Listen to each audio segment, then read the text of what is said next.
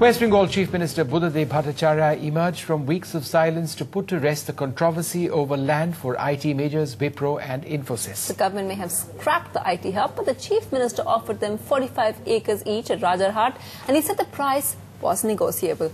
Munideepa Banerjee reports. After almost going underground for a month, apparently because of ill health, Buddhadeb Bhattacharya took charge today of the imbroglio over land for Infosys and Wipro and issued a public invitation to the two IT giants to come and invest at Rajarhat township near the Kolkata airport. Just last week, the IT hub near Vedic village, where the two companies were to get 90 acres each, was scrapped because of allegations of illegal purchase of land by private parties. We are ready to give 45 acres of land each to Wipro and Infosys. 45 acres.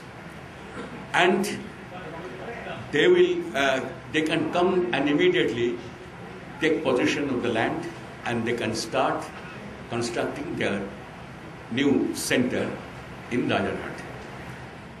Today's was the first press conference Buddhadeb Bhattacharya has addressed after the left debacle in West Bengal in the Lok Sabha elections. In fact, since August, Buddhadeb had kept a low profile, skipping a meeting with the Prime Minister, avoiding Ratan Tata and giving a Politburo meeting in Delhi the miss.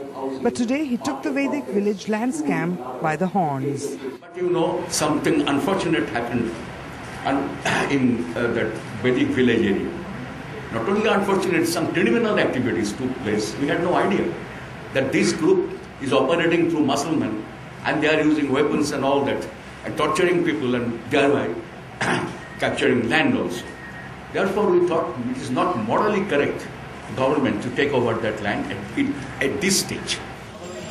The only uncertain element is the price of land. Buddhadeb says it is negotiable. Party sources say it is a relief to have Buddhadeb once again take charge.